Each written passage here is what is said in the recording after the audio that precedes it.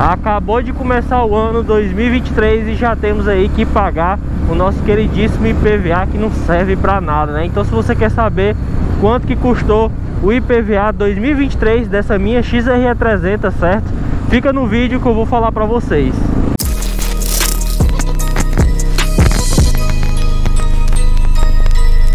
Fala galera, aqui quem fala é o Christopher, bem-vindos a mais um vídeo Estou aqui com minha XRE 300 de ano 2016, certo? Acabamos de começar o ano, estamos em 2023 E é claro, né, que o IPVA com certeza subiu, certo? Então nesse vídeo eu vou falar para vocês Quanto que está custando o IPVA 2023 da minha XRE 300 2016, certo? Então sem enrolação, vamos logo direto ao ponto Entrei no site do Detran, galera. Consultei lá o IPVA 2023 dela. Só lembrando que eu sou daqui de Fortaleza, Ceará. Aqui é um dos cantos que o IPVA é mais caro, rapaziada. Aqui é 3% do valor da moto. Então minha XR 300, né? Que na tabela FIP ela valorizou. Ela tá custando agora 19 mil. 3% de 19 mil, quanto que vai dar? Vai dar 508 reais. Esse é o valor do IPVA da minha XRE 300, rapaziada. Só o IPVA, falta licenciamento ainda, mas só para vocês verem, né? Os 3%. Não ficou 508 mesmo, certo? Ficou 500 e alguma coisa. Vou botar na tela aí que eu não decorei o número. Mas eu sei que 508 é com desconto, pagando à vista. Mas dá para parcelar em até 5 vezes, certo? Esse é o valor do IPVA.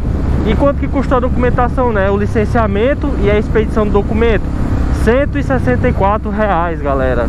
É, esse valor de 164 reais, ele é fixo, certo? Então, qualquer moto vai estar tá custando isso. O único valor que vai variar é o valor do... Ó, o menino passou do nada ali e voltou com a polícia. Então, o único valor que vai variar é o valor do IPVA Para motos de 300 cilindrada para cima é 3%, certo? 3% em cima do valor da tabela FIP e para moto de baixa cilindrada, 250 para baixo, né? Que é considerado assim pelo governo, vai estar tá custando 2,5%, beleza? É isso que varia, mas licenciamento e expedição de documento vai ser os mesmos, 164 reais aqui em Fortaleza, Ceará e o IPVA, a porcentagem é essa, 2,5% para moto de baixa cilindrada e 3% para 300 cilindradas para cima, beleza? É um valor bem caro, rapaziada, tendo em vista que é um dinheiro que não serve para nada, né? Você vê nossas ruas todas esburacadas Tudo mal feito, todo cheio de remendo, né? Então esse IPVA é um dinheiro que só Deus sabe vai pra onde, né? Mas agora eu queria dar uma dica pra vocês, né?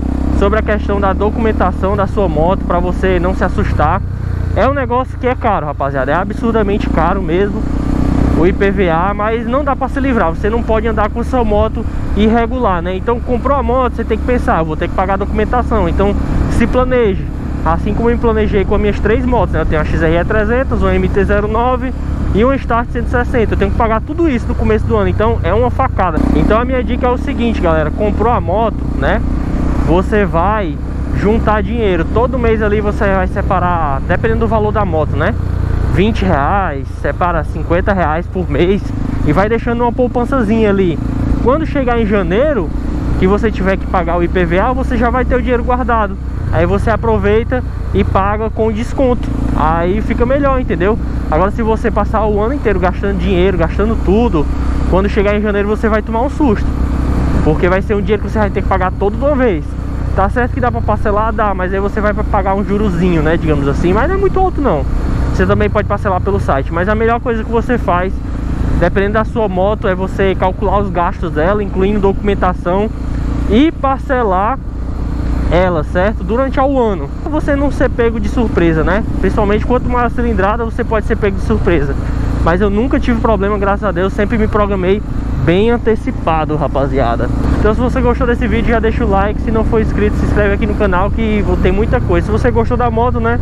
Da pintura dela, tem vídeo mostrando a pintura, mostrando mais detalhes dessa moto. Tem uma playlist só dela, vou deixar fixada nos comentários e aqui em cima no card, beleza? Então é isso, eu espero que vocês tenham gostado do vídeo Muito obrigado por ter assistido E até a próxima galera, valeu, fui!